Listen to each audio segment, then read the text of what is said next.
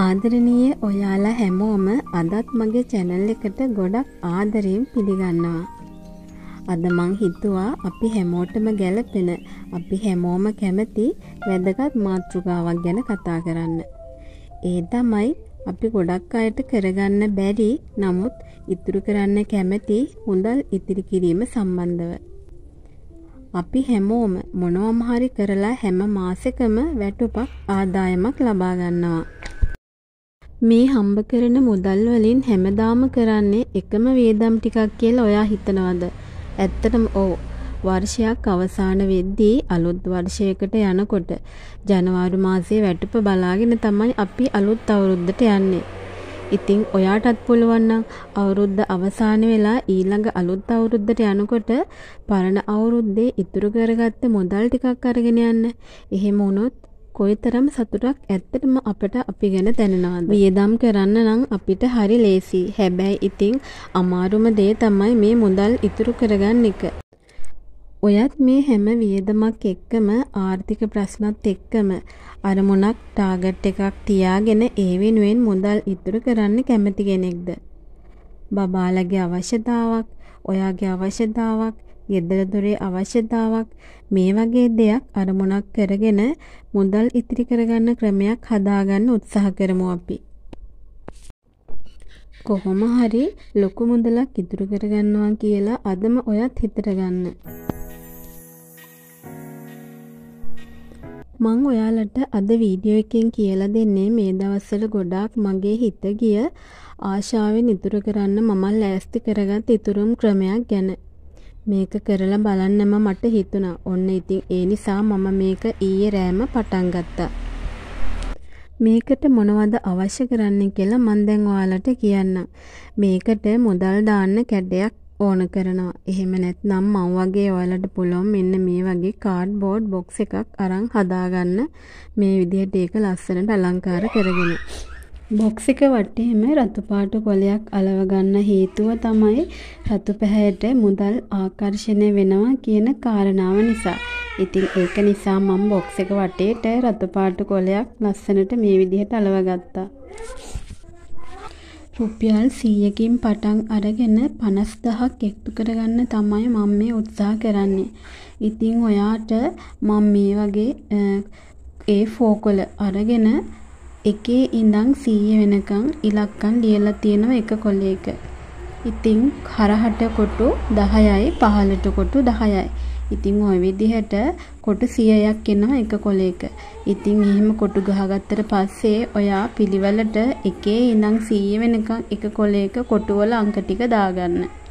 මේ විදිහට කොල පහක් තමයි සකස් කරගන්න ඕන අපි. ඒ හැම කොලේම එකේ ඉඳන් 100 වෙනකන් අංක ටික ඔයා පිළිවෙලට මේ විදියට ලියාගන්න. මං හිතනවා මම මේ කියලා දුන්න එක ඔයාට තේරෙන්න ඇති කියලා. එහෙනම් අපි බලමු ඊළඟට මොකක්ද අපි කරන්න කියලා. මේ විදියට ලියාගත්ත කොළ පහම අපි ඊළඟට කරන්නේ මේ බොක්ස් එකේ අලව ගන්න එක.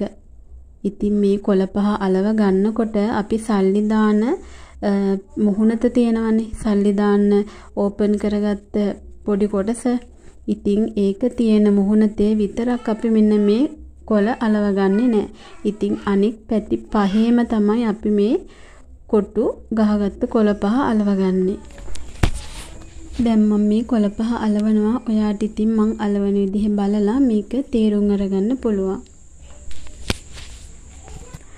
ඔයා මේ විදියට පැති පහේම මේ කැමති ආකාරයකට කොළ පහ අලව ගත්තට පස්සේ ඔයාට පුළුවන් අපි සල්ලි දාන්න ඕපන් කරගත්ත කොටස තියෙනවනේ. ඒ මුහුණත තියෙනවනේ.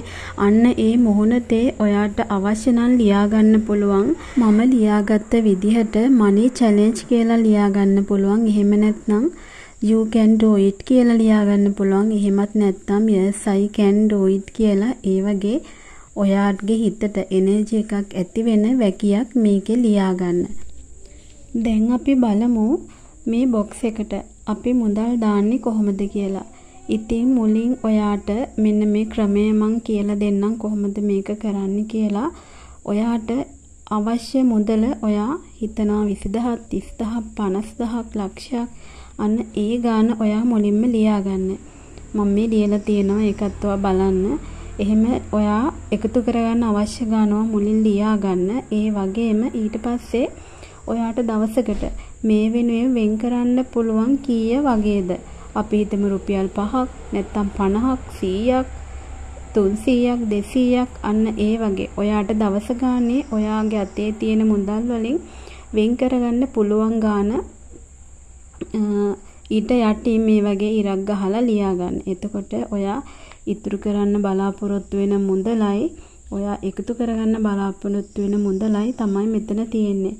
ඉතින් ඔයා අන්තිමේට එකතු කරගන්න ඕන මුදල එකතු කරගන්න දවස ගානේ වෙන් කරන්න බලාපොරොත්තු වෙන මුදලෙන් බෙදන්න. ඒ බෙදුවහම ඔයාට ලැබෙන අගය තමයි ඔයා කොච්චර දින ගණනක් මේ මුදල එකතු කරන්න අවශ්‍ය වෙනවද කියන එක. ඉතින් දැන් මගේ තියෙනවා 50000ක් තමයි මට එකතු කරගන්න ඕනේ. ඉතින් මේ 50000 එකතු කරගන්න මම බලාපොරොත්තු වෙන්නේ දවසකට රුපියල් 100ක් වෙන් කරගෙන. ඉතින් 50000 100ෙන් බෙදුවහම මට එනවා දින 500ක්. ඒ කියන්නේ මම 100 කොළ 500ක් තමයි මෙතන එකතු කරගන්න ඕන. අද මම මේ බොක්ස් එකට පාවිච්චි කරන්නේ මෙන්න මේ 100 කොළ කීපය. අපි දැන් බලමු මෙන්න මේ බොක්ස් එකට අපි කොහොමද මුදල් වෙන් කරලා දාගන්නේ. ඒ වගේම මේ අලවපු පැති පහේ කොටු කොහොමද කපාගන්නේ කියලා. දවසකට අපි වෙන් කරන්න තියෙන්නේ රුපියල් 100ක් නේ. ඉතින් ඔයා මේක පටන් ගන්නකොට මුලින්ම ඔයා රුපියල් 100ක් මේ බොක්ස් එකට දානවා. ඉතින් මේ පළවෙනි රුපියල් 100 මේකට දානකොට ඔයාට පුළුවන් අපි පැති පහක කොටු මේ කොළ පහක් අලව ගත්තනේ. ඉතින් එකේ ඉඳන් 100 වෙනකන් ලියපු ඒ කොළ පහෙන් ඔයා කැමති පැත්තක කොළයක කැමති ඉලක්කමක් ඔයාට කපන්න පුළුවන්. පිළිවෙලක් කියලා නෑ. ඔයාට එක කපන්න ඕන නම් 1 100 නම් 100 52 නම් 52 ඒ වගේ ඔයා කැමති තැනකින් කතිරයක් දාලා අපි මේකට මේ විදියට දවස ගානේ රුපියල් 100 ගානේ දානකොට අපට අර පැති පහේ අලෝප කොළ පහෙන් අපට අවශ්‍ය අවශ්‍ය විදියට අවශ්‍ය අවශ්‍ය අංකය උඩින් කොටුවක් කපා ගන්න පුළුවන්. ඒ වගේම මම තව දෙයක් ඔයාට කියන්නම්. ඔයා හිතනවා ඇති ඇයි මේක පිළිවෙලට කපාගෙන යන්නේ නැත්තේ කියලා. ඔයා හිතන්න අපි සීයේ කොටු ගහපු කොළ පහක් තියෙනවා. එතකොට අපි එක එක කොළයක් එක පැත්තක කොට 100 සම්පූර්ණ කරලා අනිත් පැත්තට යන්න කියලා හිතාගෙන ඉන්නකොට ඔයා එක පිළිවෙලට කොටු කීපයක් කපා යන එකම පැත්තක අලවපු කොලේ. එතකොට ඔයා හිතනවා අනිත් පැත්තේ පැති හතරකම හිස්තාම එක කොටුවක්වත් කැපිලා නැත. එතකොට ඔයාට දැනෙනවා අනේ තව කොච්චර කොටු ගොඩක් මට කපන්න තියෙනවද කියලා. තව 100 කොළ කීයක් දාන්න තියෙනවද කියලා. එතකොට මේක මෙහෙම දකිනකොට ඔයාට හරි බෝරින් බවක් ඇති වෙනවා. මේක කරන්න නිකන් එපා වෙනවා, කලකිරෙනවා.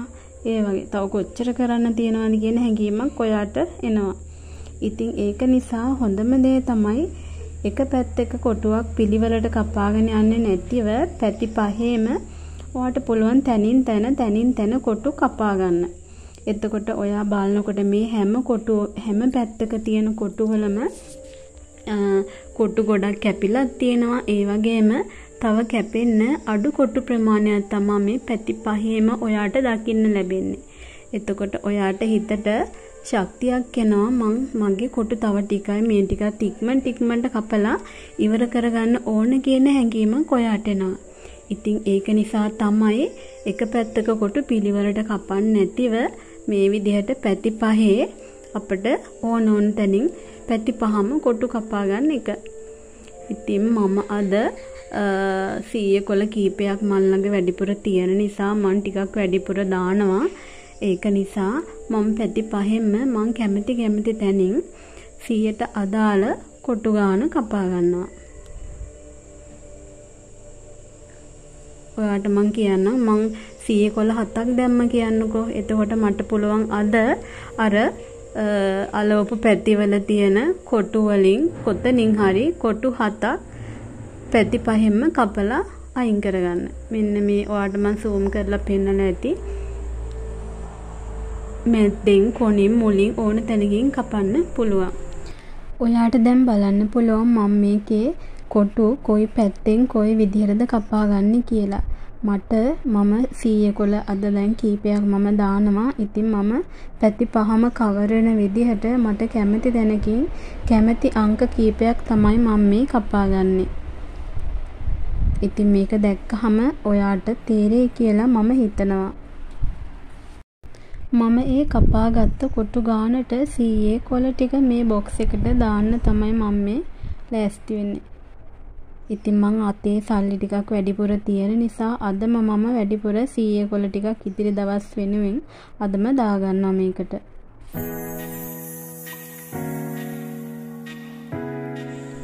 තවත් දෙයක් තමයි ඔයාට මං කියන්නම් මේක අපි දවස් වලින් බැලුවොත් දවස් 500ක් දවසට 100 ගානේ වෙන් කරොත් ඇත්තටම දවස් 500ක් අපි මේක කරන්න ඕන අපිට 50000ක් එකතු කරගන්න නම්. ඉතින් ඒක නිසා සමහර විට ඇත්තටම අපේ අතේ දවස ගානේ රුපියල් 100ක් නැති වෙන්න පුළුවන්. සමහර දවස්වලට රුපියල් 100ක්වත් අපේ අතේ නැහැ. මොකද මාසික වැටුප් ගන්න අයට මේ ප්‍රශ්නේ එනවා. ඉතින් දෛනිකව මුදල් හම්බ කරන අයට මේක ප්‍රශ්නයක් නෑ. එහෙම කීවේ මේක අනිත් අයට කරන්න බෑ කියන එක නෙමෙයි. මොකද දෛනික වැටුපක් ලබන අයට අතේ මුදල් නිතර ගැවසෙන නිසා තමයි මම ඒක එහෙම කීවේ. මාසික වැටුපක් ගන්න අයට මෙන්න මේ විදිහට මේක ලේසියෙන් කරන්න පුළුවන්. ඒක නිසා මාසික වැටුපක් ගන්න කෙනෙක් ඉතින් ඔයාට පුළුවන් ඔයාගේ අතේ වැඩිපුර මුදල් ගැවසෙන වෙලාවට වැඩිපුර 100 කොළ වලින් මේ බොක්ස් එකට දාලා වැඩිපුර කොටු කීපයක් එකම දවසේ කපා ගන්න. අපි හිතමු ඔයාට පඩි දවස තියෙනවා. ඔයාට පුළුවන් පඩි දවසට මේ බොක්ස් එකට රුපියල් 5000ක් දාන්න. මේ 5000 ඒ දවසේ දාලා ඔයාට පුළුවන් ඉදිරි දවස් ටික 100 ගානේ නොදා ඉන්නත් පුළුවන්. ඔයා එතකොට මේකට රුපියල් 5000 දාලා ඔයාට පුළුවන් 5000ට 100 ඒවා කීයක් තියනවද කියලා හොයාගන්න. ඉතින් ඒ සීයේ ඒවා කීයක් තියනවද කියලා බලලා ඒකට අදාළ කොටු ගාන ඔයා ඒ දවසට කපා ගන්න. ඉතින් එතකොට එක දවසෙන් කොටු ලොකු ගාණක් කැපෙනවා. අපි බලමු 5000 කොලයක් ඔයා මේ බොක්ස් එකට දානකොට සීයේ ඒවනම් කීයක් කොටු අපි කපා ගන්නවද කියලා. 5000ට තියෙනවා සීයේ ඒවා 50ක්. ඉතින් එහෙනම් අපිට පුළුවන් මෙන්න මේ අපි ලියාගත්ත ඇඳගත්තු කොටු කොලේ කොටු 50ක්ම එක දවසින් කපා ගන්න. එතකොට අපිට අවශ්‍ය නම් අද 5000ක් දාලා හෙට ඉඳන් ආයෙත් අපිට 100ක් තියෙනවා නම් එහෙම දාන්න පුළුවන්. එහෙම නැත්නම් අතේ සල්ලි නැත්නම් දවස් කීපයක් නොදා ඉඳලා ආයෙත් අතේ සල්ලි ටිකක් එකතු වුනහම ඔයාට අර පහුවෙච්ච දවස් ටිකටත් එක්ක එකට සල්ලි ටික දාගෙන අවශ්‍ය කොටු ටික එකපාර කපා ගන්නත් පුළුවන්. ඉතින් කොහොම හරි මෙතනදී සිද්ධ වෙන්න ඕන අර පැති පහේ අලවපු කොටු ටික කපා ගන්න එක තමයි. ඉතින් කොටු ටික කපා ගන්නවා කියන්නේ අපිට අදාළ ටාගට් එකට අපි යනවා කියන එක. අපි හීනවලට අපේ ටාගට් වලට යන්න නම් කැපකිරීම කරන්නම වෙනවා. මහන්සි වෙන්න වෙනවා. එහෙම නැතුව නම් හීන දැක දැක විතරක් අපිට ඉන්න පුළුවන්. ඒ නිසා හීන දැක දැක ඉන්න කෙනෙක් නොවි. අදම හීන සැබෑ කරගන්න හිතන කෙනෙක් නම් ඔයත් අදම මේ වැඩේ පටන් ගන්න. අතරමඟ නතර නොකොට තමන්ගේ ටාගට් එක ඉෂ්ට කරගන්නකම් මේක අත්හරින්නේ නැතුව දෛනිකව ආදායමක් ලබන කෙනෙක්ට වගේම මාසික වැටුපක් ලබන කෙනෙක්ට උනත් මේක අනිවාර්යයෙන්ම කරගන්න පුළුවන් හොඳ ඉතුරු කිරීම ක්‍රමයක්. ඔයාලට මම මේ ඉතුරුම් ක්‍රමයක් එක්ක කරන්න පුළුවන් තව මුදල් ආකර්ෂණය කරගන්න පුළුවන් පුංචි රහසක් කියන්නම්. ඔයා මෙන්න මේ බොක්ස් එක මේ විදිහට හදලා ලස්සන කරගත්තට පස්සේ ඔයාට පුළුවන් මුදල් දාන්න කලින් හෝ මුදල් කීපයක් දැම්මට පස්සේ හෝ මෙන්න මේ දේ කරන්න. අපි හැමෝගෙම ගෙදර තියනවා කරාඹ නැටි. ඒ වගේම කුරුදු පොතු. ඉතින් ඔයාට කරන්න තියෙන්නේ පිරිසිදු ඒ කියන්නේ ඩැමේජ් වෙච්ච නැති හොඳ කරාම නැටි හතරක් තෝරගෙන ඒ වගේම පිරිසිදුව තියෙන පුස්කාල නැති පොඩි කුරුඳු පොත්තක් තෝරගෙන මෙන්න මේ වර්ග දෙක ඔයාට පුළුවන් නම් පුංචි රතු පාට A4 කොලයක හරි ඔතලා චූටි චූටියට මේක හදලා අපිට මේ බොක්ස් එකේ තැන්පත් කරගන්න පුළුවන්. ඉතින් රතු පාට කොලේ කොතන්න බෑ නම් කරාමු නැටි හතරකුයි පොඩි කුරුඳු පොත්තකුයි අරගෙන මෙන්න මේ සල්ලි ඉතුරු කරන මෙන්න මේ බොක්ස් එක ඇතුළට දාලා තියන්න. ඉතින් මෙන්න මේක කරාම මුදල් ආකර්ෂණය වෙනවා කියලා මම අහලා තියෙනවා. ඉතින් ඔයත් කැමති නම් මේ ක්‍රමයක් අත්හදා බලන්න කියලා මම කියනවා. එහෙනම් ඉතින් මේ ක්‍රමේ ඔයාටත් ගැලපෙනවා නම් අදම පටන් ගන්න. මේ ගැන ඔයාගේ ආදරණීය කමෙන්ට් එකක් තියන්නත්. වීඩියෝ එකට ලයික් එකක් දාන්නත් ඒ වගේම මගේ channel එක ඔයා තාමත් subscribe කරලා නැත්නම් subscribe කරන්නත් කියලා ගොඩක් ආදරේ මතක් කරන ගමන් අර්ථවත් වීඩියෝ එකකින් ආයෙත් හම්බ වෙමු කියලා අදට මම නවතිනවා. ඉතින් ඔයාලා හැමෝටම සුබම සුබ දවසක්.